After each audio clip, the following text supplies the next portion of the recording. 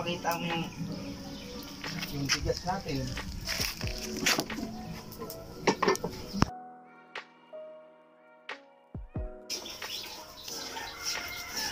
Nasa na yung mabuti para matanggal yung mga konting ipa.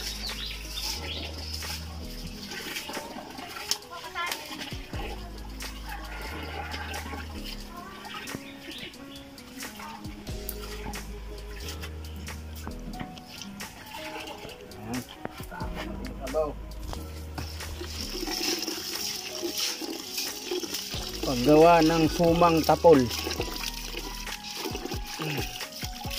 Hmm.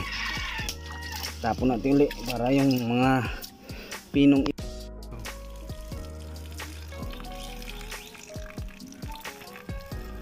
Ayan, ayusin natin. Ito na yung ating gata kanina, isang kilong gata. Maganda sa portion to. Kapag isang kilong bigas, isang kilong gata rin. Kaya lang, ito, isang kilo mahigit lang na gata. At samahan natin yung pangalawa para magkasya. At kailangan ito hindi masyadong maraming tubig para hindi siya malata kasi lulutuin pa natin ulit mamaya. Tabi natin to kasi pwede natin isabaw doon sa Maraming uri ng paglu eh, paraan pagluto nito. Pero ito yung natutunan ko doon sa mga lola ko pa. Ganito kasimple pag sa bundok. Tapos dito sa Maynila, ang kanilang suman ay medyo matamis. So lalagyan natin.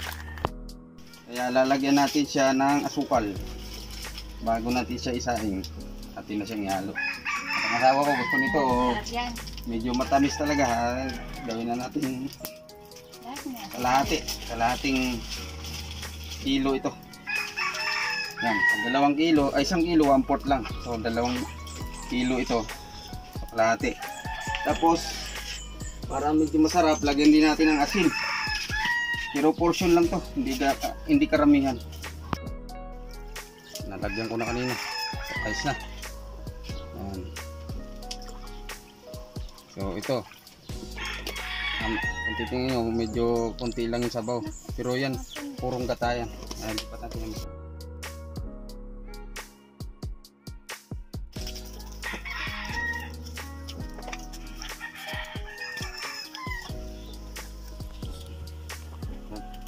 yung At maraming gatong ito.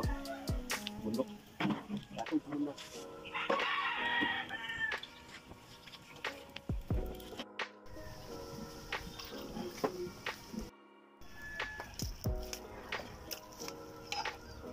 Babalutin na.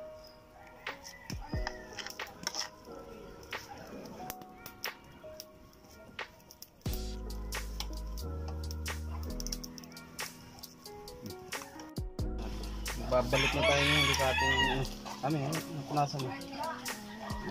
Dahil hindi pare-pareho ang size ng dahon.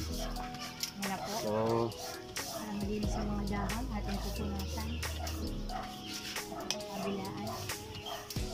Asin sa hindi ko na ito tinikman.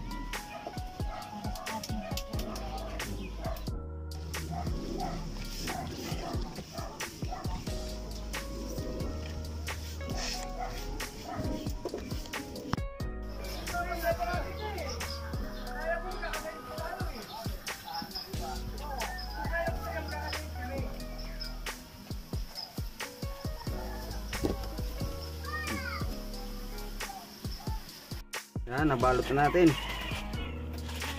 Natin na isasalang to. 30 minutes. Ang sarap na to. Ang lambot na nito. Na nagupitan yung straw.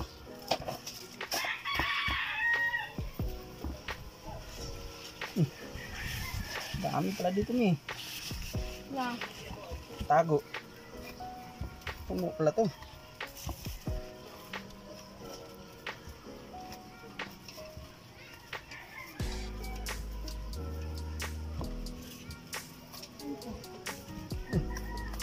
Puno ba?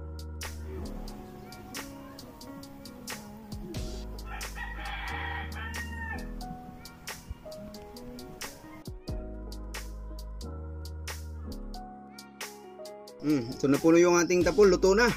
Pagtipan natin. Hmm. Ayos, sarap. Malambot. Kami. Tikim nga. Lagay na natin dyan.